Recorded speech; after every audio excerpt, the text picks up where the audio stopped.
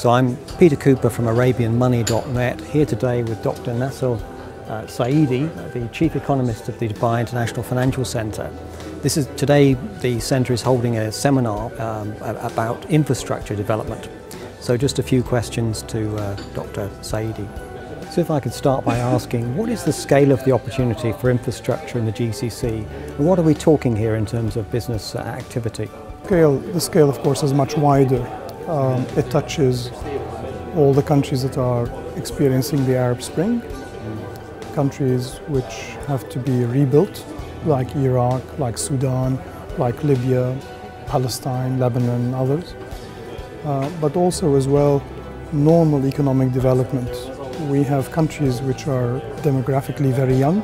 So what we're talking about is in excess of $110 billion per year at least over the next decade. That's excluding the needs of reconstruction. And we know that there's a funding gap of around 60 billion to 70 billion per year. So very simply, what you can do during this period is to leverage the knowledge and expertise, get the financing, and help integrate the rest of the Arab world into a changing global economic geography. Uh, and that is a priority. We need to do that.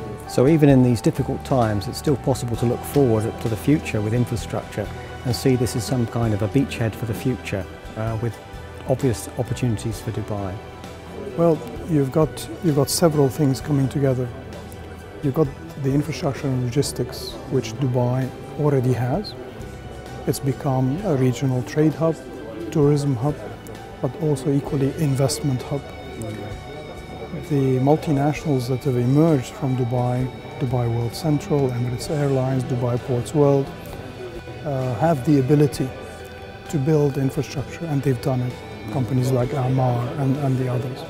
By helping countries that need infrastructure and logistics in two ways. Number one, helping them build the infrastructure and logistics. Number two, integrating them into the UAE and into Dubai's economy, which will allow them to get internationally integrated into a new global supply chain. But the first step seems to be even more in infrastructure investment in places like Dubai, doesn't it? All the A380s this year coming in, the new airport that we heard about this morning.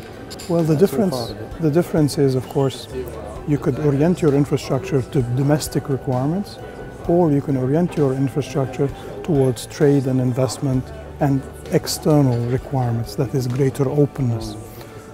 What Dubai has done is precisely to have infrastructure assets um, which are externally oriented. Mm-hmm. But more interesting long term is that it means that it's a network so that we in the Arab world, in the MENA region, that want to export can use the facilities of Dubai Port World mm. and get more integrated with emerging markets, which are the growth story of currently and in the future.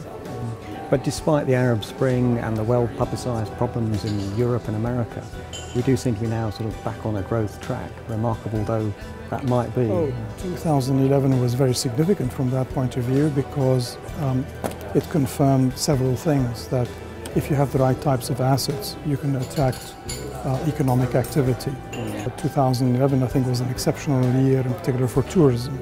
We had more than 51 million people coming through the airport, uh, about 9.5 million tourists. Uh, hotel occupancy rates are very high, um, close to 90%, um, even in, in the summer months. And this prime location between east and west, I think, is important. Uh, we need to be aware of the fact that um, trade, movement of people is increasingly towards Asia. Uh, Europe and the United States are of course important in the world economy, but you need to think of the growth and where the growth is going to be coming from. And the bulk of the growth on a global basis, but certainly for us, um, sitting here in Dubai, is going to be coming from emerging markets and emerging Asia in particular. And we are well located for that. Asadi, thank you very much for talking to us today. Thank you. Pleasure. Thank you.